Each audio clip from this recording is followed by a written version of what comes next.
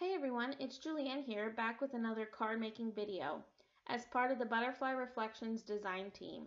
Today I'm going to be sharing a card that uses a bunch of waffle flower craft products, the Sweet Mailbox Stamp and Die, Sending Love Stamp and Die, as well as the Layering Wood Grain Stamp Set.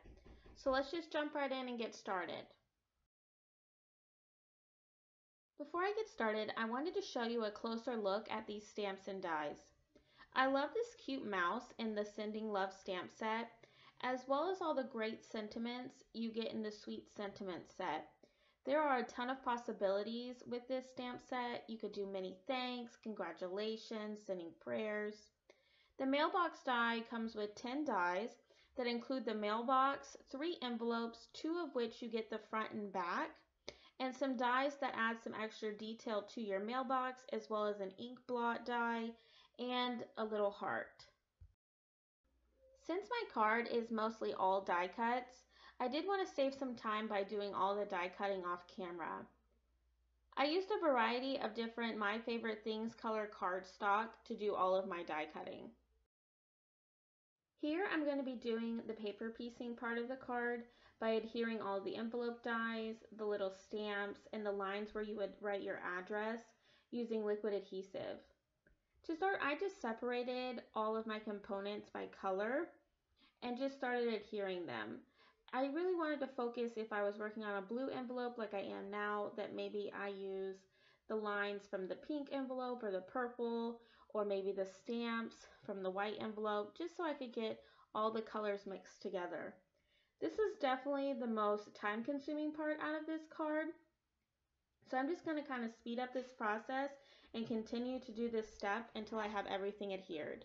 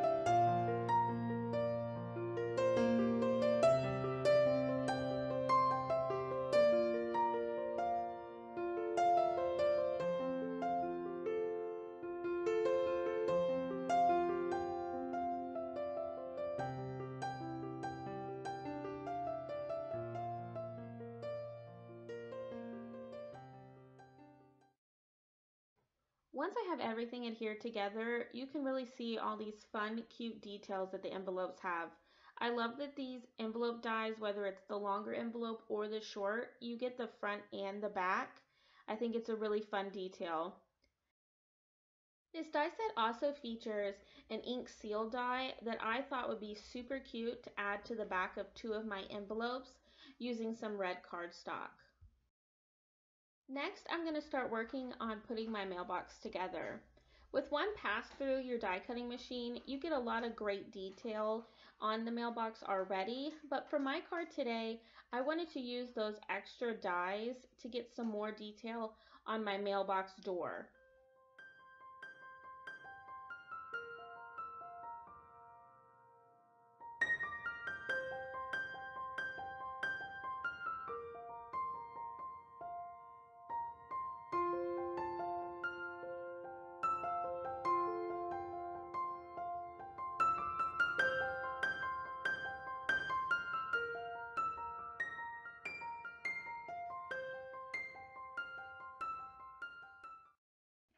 Once I'm done with all my die cuts, I'm going to start working on my background. I knew I wanted my mailbox to be jam-packed full of envelopes, so I wanted to create a slimline card to make sure I had enough room for all those details. So I'm going to be cutting my background down to 4 by 8.5, and then my card base I cut to 8 by 8.5 and scored at 4. For my card today, I really wanted to create a cloud background to make it look as though my mailbox was outside. So to accomplish this, I'm going to be doing some ink blending with my Distress Oxides. I'm going to be using both tumbled glass and salty ocean onto some Ranger watercolor paper. For the clouds, I'm just going to be going back and forth between the tumbled glass and the salty ocean while using the mini cloud edges stencil from My Favorite Things.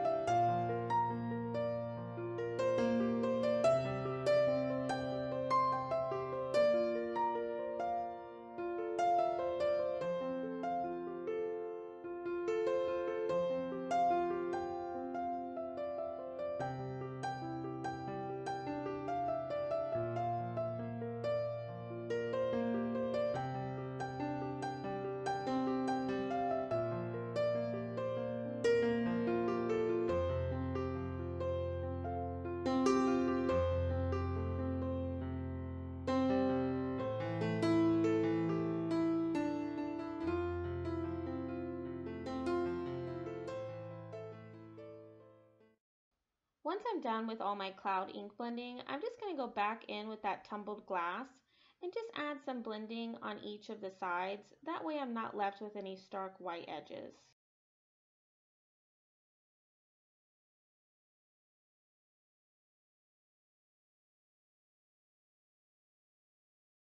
Once I was done with my background, I started arranging my elements on how I wanted my card to look and realized that my mailbox was kind of just floating in my background and that I needed to add some kind of post. Using some of that leftover Ranger watercolor paper from my background, I'm going to be stamping the layering wood grain stamp using some embossing ink and then I'm just going to be clear heat embossing the image. This is going to add some really great subtle detail to my wood post.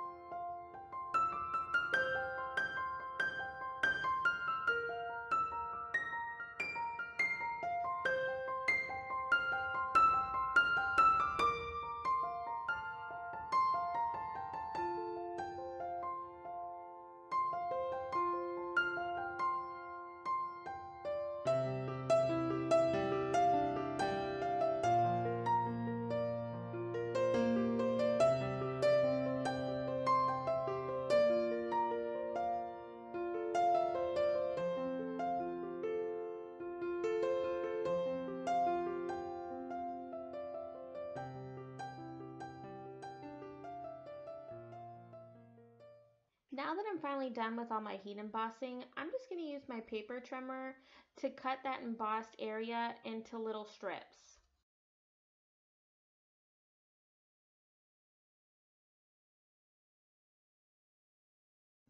Next, I'm going to start working on stamping my sentiment.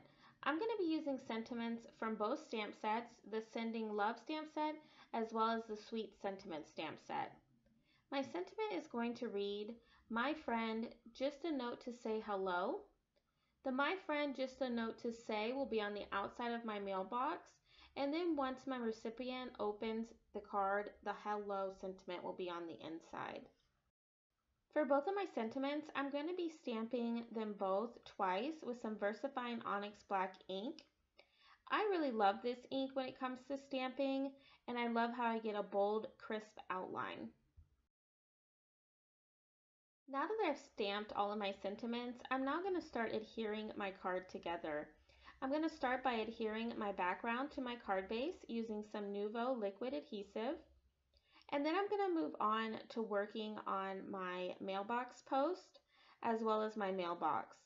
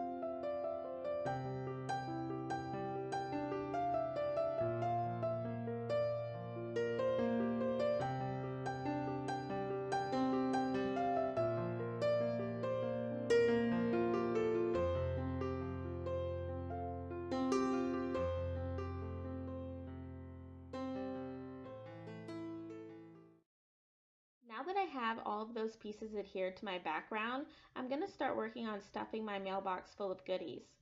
Off camera, I did stamp the mouse as well as four of the stamped images from the Sending Love stamp set, and I also did my Copic coloring off camera.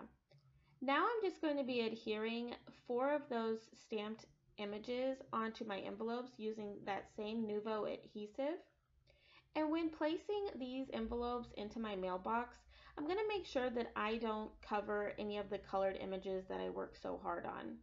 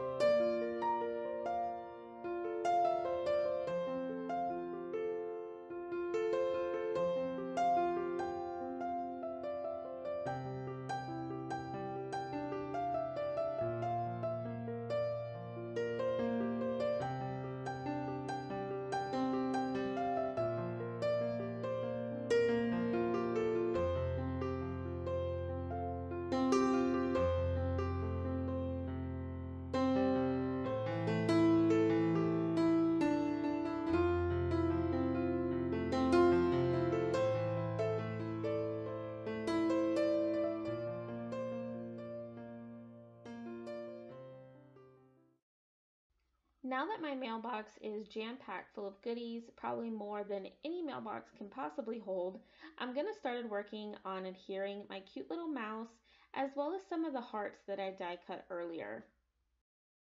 Since my mailbox is pretty packed full of these envelopes that I die cut, there is a lot of added dimension in that.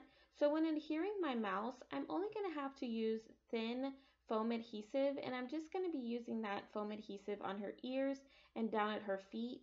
The rest of the image I'm just going to be using that same liquid adhesive. I also really wanted to make sure that once I had her adhered, that once the mailbox door was closed, that she was going to be hidden. I think this is going to be a really cute surprise for the recipient when she receives this letter. And now I'm also going to start working on adding in the little flag that initializes that this mailbox is full of goodies as well as those hearts that I talked about earlier.